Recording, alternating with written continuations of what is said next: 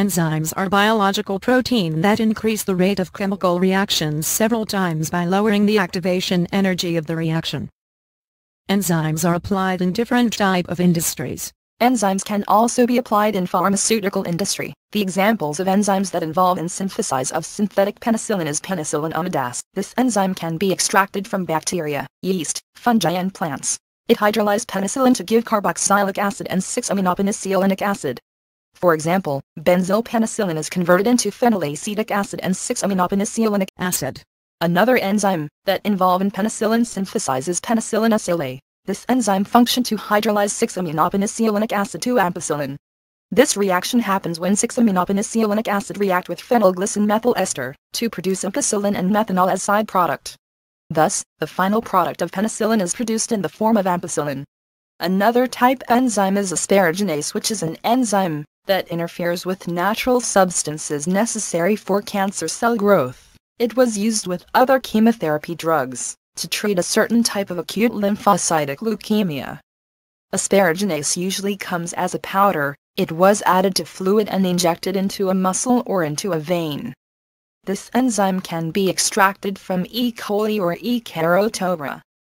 Application of enzyme in food industry.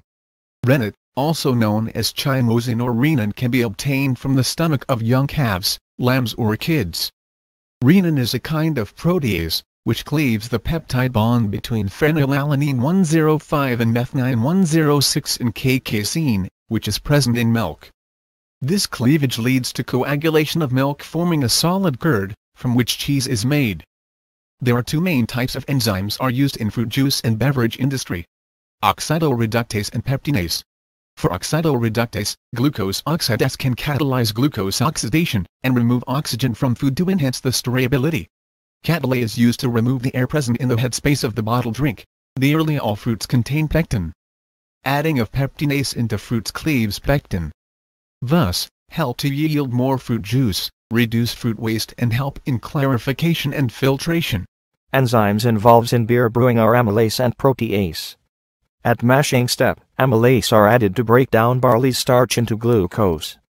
Protease is added to improve the malt and the yeast growth in mashing step. In conditioning stage, protease is used to prevent formation of cheese in beer which is a protein polyphenolic complex. Application of enzyme in detergent industry. The most common enzyme found in detergent industry is protease, amylase and lipase. These enzymes usually confound in Bacillus licheniformis and Bacillus amyloliquefaciens. Proteases can remove protein stains such as grass, blood, egg and human sweat from fabric. Amylase is used in dishwashing and destarching detergent as it can clean up residues of starchy foods such as custard, gravies, potato, and chocolate. Lipases are crucial in washing powder as they act effectively on stains resulting from fat products. Application of enzyme in animal feeding. Animal feeds are plant materials which provide carbohydrate and vegetable protein sources.